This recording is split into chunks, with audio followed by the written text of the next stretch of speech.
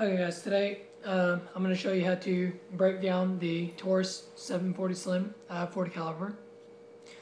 Uh, first of all, let me go ahead and unchamber it really quick.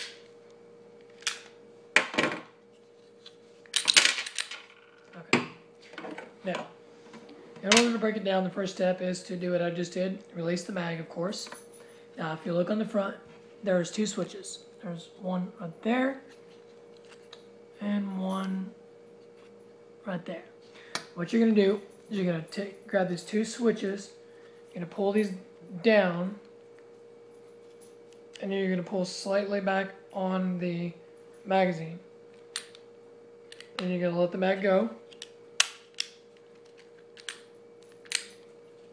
Squeeze the trigger, and the slide will come forward. Let me redo that in case you didn't see it. Pull the buttons down. We squeeze the trigger, the slide will should come forward like so. And from there, you just take the slide, kind of, oh, you got to kind of wiggle it a little bit.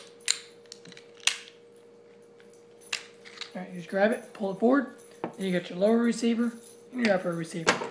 So next part, you got your spring right here on the front part. So there's where the barrel is. Gonna grab that. Be careful because if you have a powerful spring, it will fly out if you don't do it right. Grab the spring, just pull it slightly back and kind of tilt it up.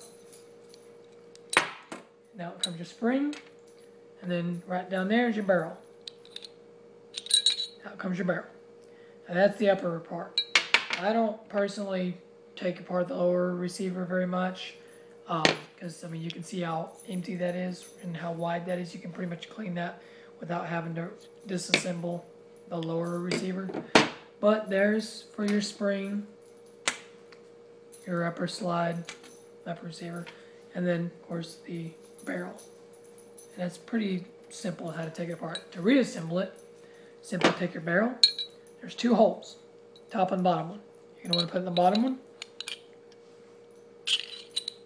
Of go in and then back to it. Take your spring. You such a spring in that top hole, the empty part.